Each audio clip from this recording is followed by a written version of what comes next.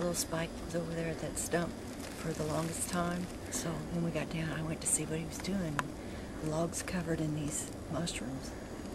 And I mean, he, they're coming down the hill. They're all around the stump, and yeah, I bet he was there 15 minutes eating on these. So pretty cool.